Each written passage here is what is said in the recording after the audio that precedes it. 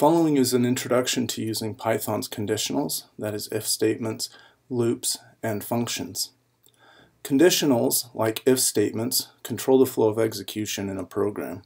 The keywords that we'll use in Python are going to be an if, elif, else, and then the following symbols are used to control the, uh, the, for comparison operators. This double equal sign will compare whether two things are equal to each other not a single equal sign, a double equal sign. Exclamation point equal is not equal. Then less than, less than or equal to, greater than, greater than or equal to, and the keywords and, or, and not.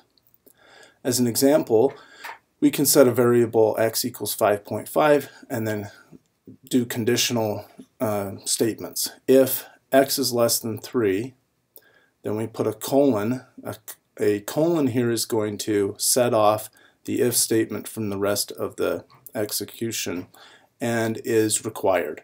We're going to use a colon with if statements, with for loops, with functions, and uh, so get used to seeing that uh, operator. So if x is less than 3, then we put statements that we want to execute. Notice that we need to indent those.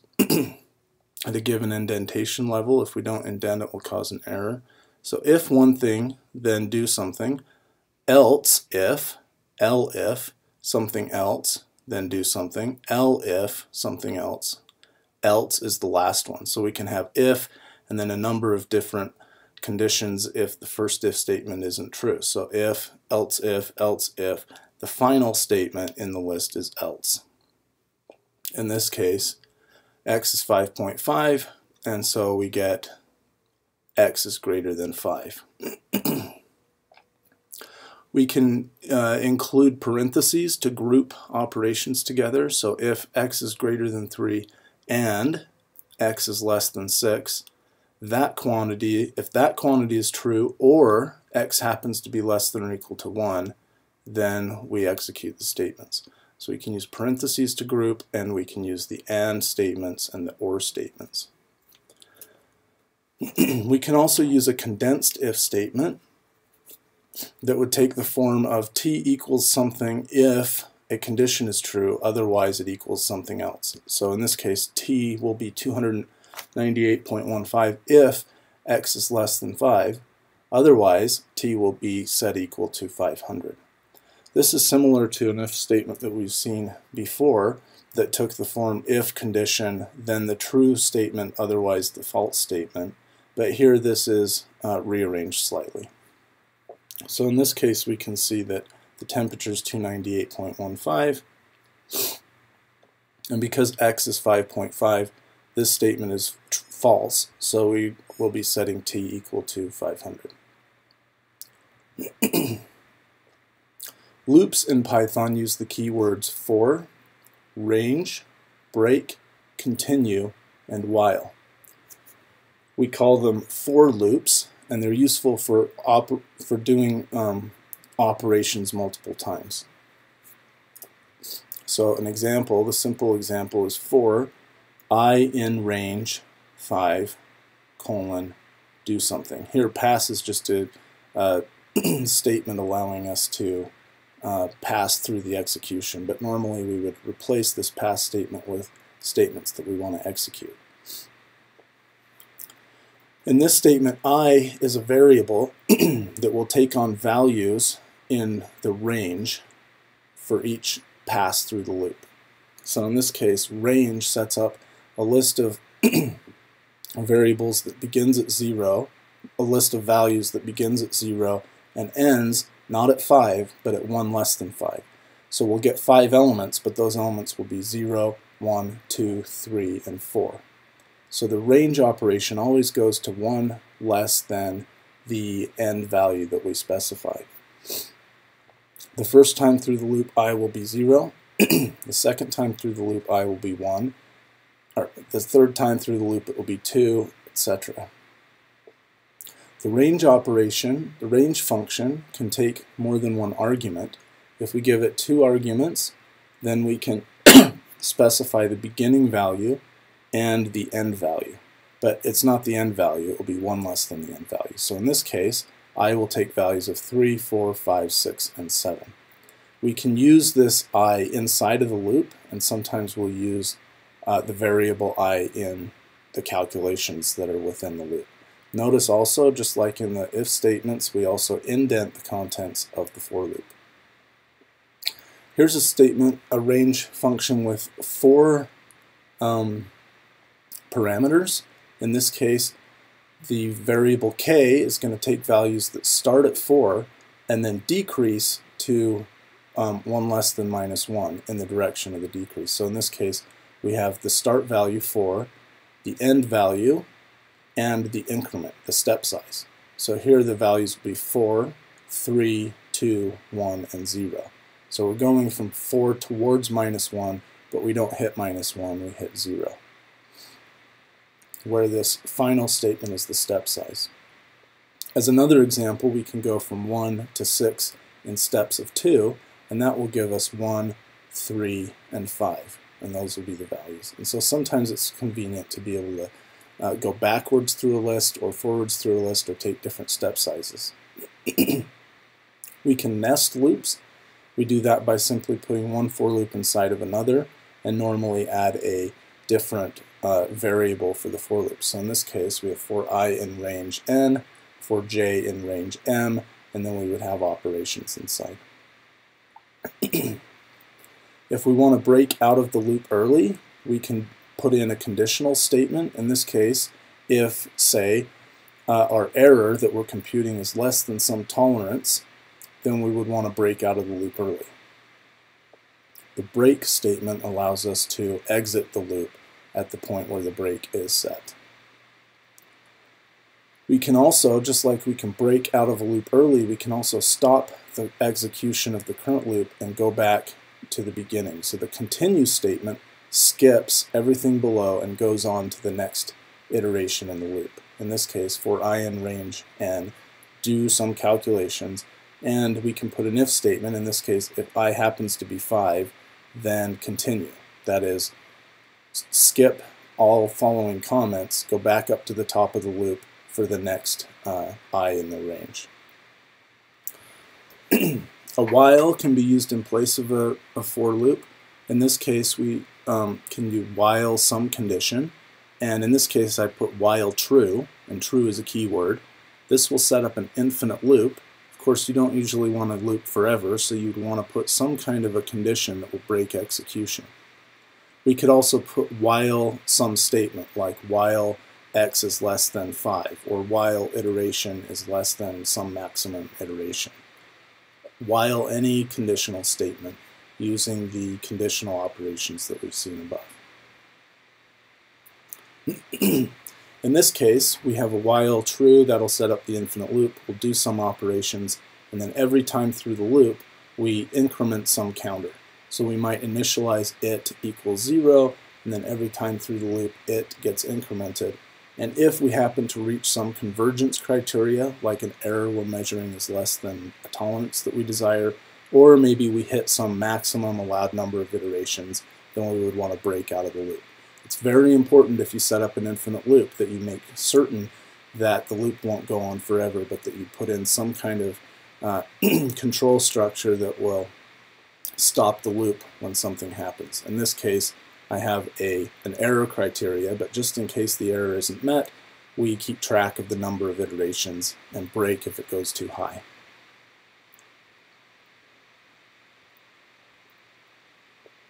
Python functions are very useful. They're used almost everywhere. We use functions for reusing blocks of code. So if we have a complicated set of operations that we want to use more than once, it's very awkward to um, type that set of commands over and over. Rather, we can group them all into a function, and then we can call the function where it's needed. It's also useful for organizing code, and many libraries that we'll import into uh, Python will require the use of functions. The main keywords here are def for defining a function and return for returning from the function. The following is an example. here we have def sum1. Sum1 will be the name of the function. The def keyword indicates that we're beginning the definition of the function. Then we put parentheses followed by function arguments. These functions are similar to what we're used to in a mathematical setting. A function is like a black box that takes input values, does some operation, and returns output values. In this case, we end, in all cases with functions, we end with a, semi, or a colon, and then we indent the contents of the function. When we stop indenting, it means that the function is finished. so here's a function that computes a sum of two values, and all this function does is print um, the fact that we're in fu function sum1, and then we print the value of the sum to the screen. Now, in this case, uh, functions don't require a return statement, and we didn't provide one. The function will just go until the last statement, and then it will um, stop execution of the function. We can add a return statement. Anywhere we put a return statement, the execution will stop. So in this case, we see the sum printed and then a return statement and any following uh, uh, statements won't be executed. We can also explicitly return the value of the sum. So here all we do is print that we're in the function. The function itself returns a value x plus y.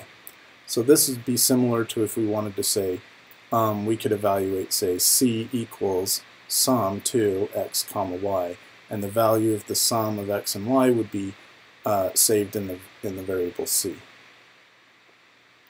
Here's a function where we square both. So this simply squares x and squares y and returns the square of both. In this case, we can return more than one value. Here we're returning both x squared and y squared, and we can save those in two separate variables. So here's an example of using uh, these um, four functions. Here we have sum1, 5, 6, and the output from it is in sum1, and then it prints. Then we can go s equals sum2, 1 comma 2, and that'll save the value 3 in the variable s, and then we can print what s is, and we get s equals 3 printed to the screen. For the um, square both function, we can say a comma b equals square both 3, 4, and when we print a and b, we can see that we get 9 and 16 printed to the screen. Or we don't need to save it in a variable, we can simply print the function, and then the square of both variables will be printed to the screen. So in this case, 7 and 8 get printed out as 49 and 64. So this is the basic syntax for defining a function. Def statement, function name, parenthesis, function arguments, a colon, then we execute the function operating on the arguments as we need to, and then re return a value optionally, and return optionally multiple values. Functions can have default arguments. If we uh, set up the parameters as so, suppose we have def get force, a function that gets the force, we give it two parameters, maybe m and g, and we say g equals 9.81. This gives us the option of giving both m and g or just giving m. So in this case I can print get force with 10. If I only specify 10 then the mass will be 10 and the gravity will be assumed to be 9.81. Whereas if I specify both then m will be 20 and g will be set as 2. And you can see what the result of the function is. Functions can be passed as arguments to other functions. This can be really useful and it's very easy to do. So suppose we want to make a function that integrates another function. So we want to calculate the integral of f of x. Well, we have a function that performs the integral and an argument to the function is the function that we want to integrate. So suppose we want to integrate x squared, then we would pass in as parameters the starting point of the integration, the ending point of the integration, and the function which defines x squared. um, in defining functions, we can use triple quotes at the very beginning. We would call this a doc string, and is very useful for documenting your functions. So we begin with a triple quote, and then any text that we give the function will be uh, can be used to find out about the function using help. So as an example, if we type help, and then the name of the function, then it will output the doc string so we can see how to use that function. And that's true for most of the functions that we'll use. If you type help, name of the function, you'll get a description of how to do the function. When you write your own functions, uh, you would do that, you'd write that documentation in the uh, doc string. So triple quotes here. Now this coarse integration function, here we simply uh, evaluate the function using two different bins. So we're going to make two rectangles that span from x low to x high and then evaluate the integral. So in this case I find the midpoint between x low and x high. Then we find the uh, bin spacing, the rectangle width. So that would be x mid minus x low and that's also equal to x high minus x mid. Then we can find the area for the first segment, which is just the bin width times the function evaluated at the midpoint, the function we're integrating evaluated at the midpoint. So notice that we pass in any function we want, and it can be named anything we want, but as soon as we pass in that function, it's going to be called f inside the function. So here we evaluate f evaluated at the midpoint. So if f was x squared, then it would be x, this quantity squared. If f were sine of x, then it would be the sine of this quantity. So we do that for segment 1 and segment 2, and then we simply return the sum of the areas. So that's what this coarse 2-bin integration does, and we passed in the function of interest. So let's define a couple functions. Here we have x squared. We pass in x and we return the value squared. Or a linear function, we pass in x and we return some linear function of x. And then if we want to evaluate, we can, we can integrate both of these functions by calling coarse integrate f, the low value, the high value, which we set, and then the function that we want to integrate. Here, the function is x squared, and here this function is f linear, and we get the coarse integration of those two functions. So we're going to do lots of examples in this uh, course where uh, we'll use built-in uh, NumPy and SciPy um, uh, functions where we'll need to pass them our own function that describes the problem that we're solving. Function arguments can be specified out of order if we're explicit about the names. So suppose we have a function like myfunc a comma b uh, that simply prints the values of a and b that are passed to the function. We can call the function out of order if we specify what the variables are. So here I'm calling myfunc with b equals 5 and a equals 7. So it expects a to come first and then b, but because we say what b is, b is 5, it doesn't matter what order we give them. And so the function outputs a is 7 and b is 5 like we expect.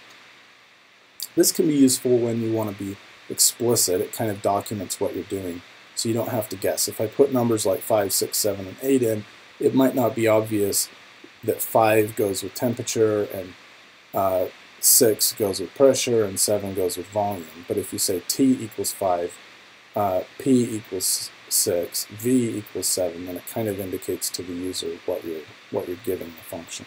So that can be convenient too.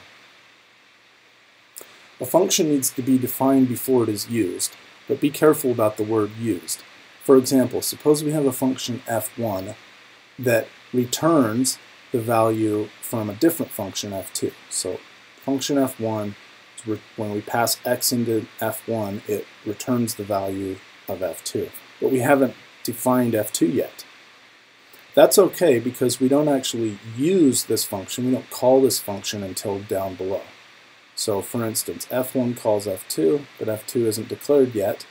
That's okay since we don't use this function until after f2 is defined. So here we've defined f1, we've defined f2, then we use it. So when we call f1 with the value 5, both of these functions have been uh, defined, and then we can uh, get output and there's no problem.